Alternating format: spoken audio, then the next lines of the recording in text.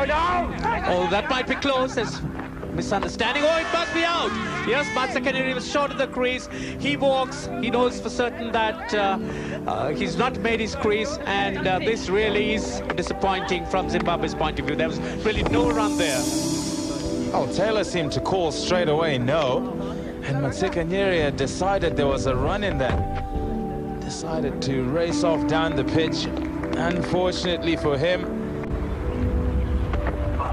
Outswinger ah, into the gloves of Sangakkara. The first ball Dilhara Fernando has pitched up. It swung and got the absolute perfect result. Dion Ebrahim looking to drive. Not getting his foot. And gaps everywhere else. Dilhara. Again, he pitches up the appeal. The slips are all over the appeal. And Taibu can't recover today. He's missed the first one out for a globe. Well, Zimbabwe in a spot of other year. Tatenda Taibu playing the wrong line there, just straightening on him a bit. Taylor's still there. Chaminda. The bowl. He's targeting that front pad. It's popped up. It's magnificently scooped. It's unfortunate for Brendan Taylor, but sensational for Sri Lanka. Vaas goes to 298. Well, Brendan Taylor just not getting in line with that ball, finding the inside edge. Oh, the back of the bat. Well, a bit of a luck in the Sri Lankan side there, and an excellent catch there. Oh, what a great... And here he goes, here's Chigumbura. Ball and it's bowled! Perfectly pitched by Chaminda Vaas. He knew what the batsmen were trying to achieve, and he's good enough to nail them. One to go to 300 wickets in one-day internationals. It's a perfect in-swing here from Chaminda Vaas.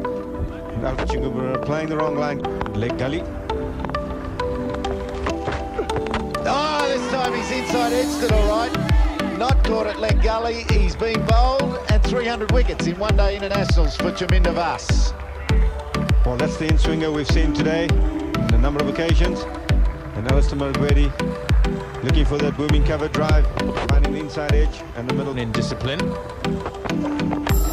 And Maharoof's first wickets in international cricket caught by, who was that, Dilshan, Tillakaratne Dilshan at backward points. More trouble for Zimbabwe. Said some of them had perished due to their own indiscipline and poor execution of shots. There's a poor ex Side and kicks at you. Oh, that's going to be close. It's about time he gave one out, and he has.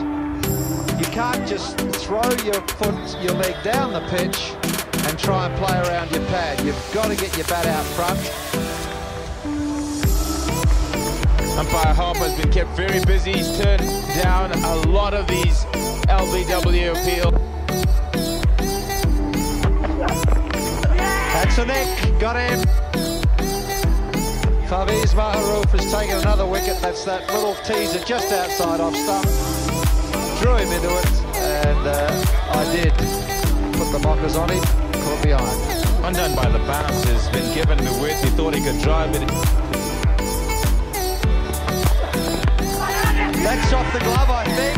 He's got him. It's another one. That's the end of the uh, end of the innings, and they're all out for 35, the lowest total in international cricket in the history of international cricket. Tinashe Panyangara undone also by the bounce, just trying to angle that to third man, the ball bouncing and taking through to Sangakkara, who takes another catch. There you go, clearly off with the top hand. A good catch taken by Sangakkara, and look at the delight on his face. Celebration for the Sri Lankan team. They've dispatched the Zimbabweans and quite easily too. Tinashe Panyangara has gone for zero, and Zimbabwe have been bowled out for 35, which is the lowest total in one-day internationals.